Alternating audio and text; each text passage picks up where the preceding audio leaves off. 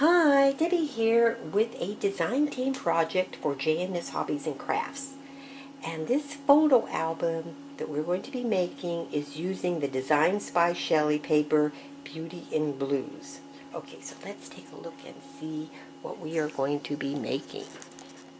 And this is the cover. And this is just a basic waterfall album. This is the back. Beautiful papers. And this is it. And it's held together with magnets. And then it opens like this. And then you have this page here and this page here. And you'll see that these pages are blank and that is because these are the pages that have the magnets and they, these pages need to stay this way in order to close the album. And then you open it and what you have inside is this. Two really nice waterfalls. And the waterfalls, well, you'll be able to put at least 50 pictures in here, depending on if you use one or two waterfalls, because you do have the option. And anyway, this is what they look like. I've got lace, little pieces of lace trim here with some flowers. And of course, and I've got the bling on the bling on a roll that I used here some more lace trim and flowers on this side. And um, let me just hold it up like this.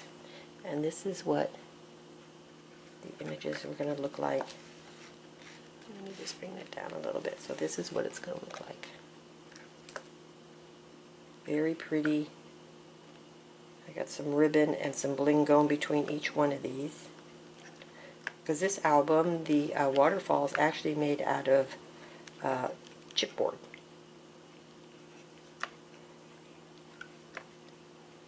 Very pretty, very pretty papers.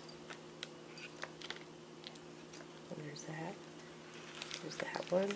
And then we'll have another one on this side with some really pretty papers. Let me just slide that over and then I can show you what these look like. Very nice. Very pretty.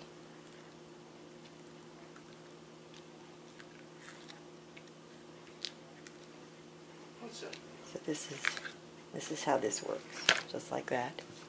And then you just close it,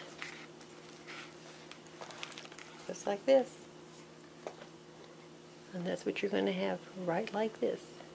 So and I will leave a link in the description box to the materials list, to the cutting guide, and also to the video where I show you my design team package so you can see all the materials that that I used in this project here. And um, so let's get started.